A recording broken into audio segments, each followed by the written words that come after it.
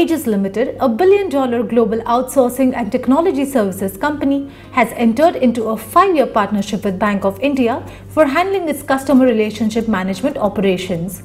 It launched a new 250 seat delivery center in Mumbai, which will primarily focus around its banking and financial services clients. We've been the pioneers in the BPO business, and uh, one of our key strengths have been financial services. And we realize in India, the next few years, there's going to be a huge growth in the financial services industry. And Bank of India then was trying to outsource its uh, BPO services. And we said, look, this is a bank which is uh, interested in outsourcing, and Aegis must be at the forefront.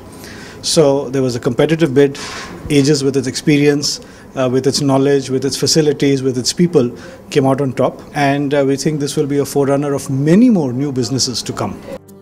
This partnership encompasses support for end-to-end multi-channel customer lifecycle management for Bank of India's end customers. We are very happy that we have collaborated with Aegis Limited, who are one of the pioneers in the field. So that's the entire concept of call center came, and it can give value additions to everybody, bank, employees, the stakeholders.